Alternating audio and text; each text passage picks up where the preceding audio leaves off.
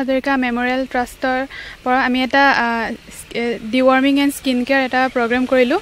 এইটো ৰাস্তাৰ ৰাস্তাৰ কাষৰ যোনখিনি ষ্ট্ৰে ডগ হয় নৰ্মেলি মানে দেখা যায় তেওঁলোকৰ তেওঁলোকৰ মানে চৰ্মৰোগ থাকে যোনটো ফাপৰে ধৰা আৰু এটা পেলুৰ এই দুটা মানে সমস্যা থাকে যোনটো কাৰণে তেওঁলোকৰ স্বাস্থ্যৰ বহুত অৱনতি ঘটে।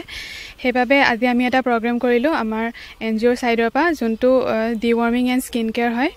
আমি ডক্টৰে প্ৰেছক্ৰাইব কৰা মেডিচিনখিনি আমি খাদ্যত মিহলি কৰি পেলাই আজি টাউনৰ যিমানখিনি কুকুৰ আছিলে সিহঁতৰ মানে খাদ্যত মিহলি কৰি খাই মানে দিলোঁ তেওঁলোকক।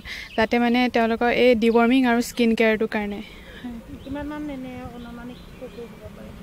আনুমানিক দুশমান? হ'ব হয়। কুকুৰ তেনেকুৱা আৰু ৰিপিট কৰা হ'ব এইটো? এইটো আৰু আকৌ ৰিকণ্টিনিউ কৰা হ'ব। মেডিচিনকেইটা এনেকুৱা যে মানে টুৱেণ্টি ওৱান ডেজত দিব লাগে। টুৱেণ্টি ওৱান ডেজৰ মূৰে মূৰে তো আমি ৰিকণ্টিনিউ কৰিম মাহে মাহে কৰিম। সেইটো ডিৱৰ্মিং আৰু স্কিন কেয়াৰ হয়। ফাপৰে ধৰা যোনটো আৰু পেলুৰ কাৰণে হয়। হাজৰিকা মেমৰিয়েল ট্ৰাষ্টৰ পৰা আমি এটা ডিৱাৰ্মিং এণ্ড স্কিন কেয়াৰ এটা প্ৰগ্ৰেম কৰিলোঁ। এইটো ৰাস্তাৰ ৰাস্তাৰ কাষৰ যোনখিনি ষ্ট্ৰে ডগ হয় নৰ্মেলি মানে দেখা যায় তেওঁলোকৰ তেওঁলোকৰ মানে চৰ্মৰোগ থাকে যোনটো ফাপৰে ধৰা আৰু এটা পেলুৰ এই দুটা মানে সমস্যা থাকে যোনটো কাৰণে তেওঁলোকৰ স্বাস্থ্যৰ বহুত অৱনতি ঘটে। সেইবাবে আজি আমি এটা প্ৰগ্ৰেম কৰিলোঁ আমাৰ এন জি অ'ৰ ছাইডৰ পৰা যোনটো ডিৱাৰ্মিং এণ্ড স্কিন কেয়াৰ হয়। আমি ডক্টৰে প্ৰেছক্ৰাইব কৰা মেডিচিনখিনি আমি খাদ্যত মিহলি কৰি পেলাই আজি টাউনৰ যিমানখিনি কুকুৰ আছিলে সিহঁতৰ মানে খাদ্যত মিহলি কৰি খাই মানে দিলোঁ তেওঁলোকক। যাতে মানে তেওঁলোকৰ এই ডিৱৰ্মিং আৰু স্কিন কেয়াৰটোৰ কাৰণে।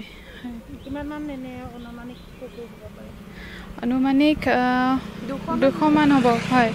কুকুৰ তেনেকুৱা আৰু আৰু ৰিপিট কৰা হ'ব এইটো? এইটো আৰু আকৌ ৰিকণ্টিনিউ কৰা হ'ব। মেডিচিনকেইটা এনেকুৱা যে মানে টুৱেণ্টি ওৱান ডেজত দিব লাগে। টুৱেণ্টি ওৱান ডেজৰ মূৰে মূৰে তো আমি ৰিকণ্টিনিউ কৰিম মাহে মাহে কৰিম। সেইটো ডিৱৰ্মিং আৰু স্কিন কেয়াৰ হয় ফাপৰে ধৰা যোনটো আৰু পেলুৰ কাৰণে হয়। হাজৰিকা মেমৰিয়েল ট্ৰাষ্টৰ পৰা আমি এটা ডিৱাৰ্মিং এণ্ড স্কিন কেয়াৰ এটা প্ৰগ্ৰেম কৰিলোঁ। এইটো ৰাস্তাৰ ৰাস্তাৰ কাষৰ যোনখিনি ষ্ট্ৰে ডগ হয় নৰ্মেলি মানে দেখা যায় তেওঁলোকৰ তেওঁলোকৰ মানে চৰ্মৰোগ থাকে যোনটো ফাপৰে ধৰা আৰু এটা পেলুৰ এই দুটা মানে সমস্যা থাকে যোনটো কাৰণে তেওঁলোকৰ স্বাস্থ্যৰ বহুত অৱনতি ঘটে। সেইবাবে আজি আমি এটা প্ৰগ্ৰেম কৰিলোঁ আমাৰ এন জি অ'ৰ ছাইডৰ পৰা যোনটো ডিৱাৰ্মিং এণ্ড স্কিন কেয়াৰ হয়।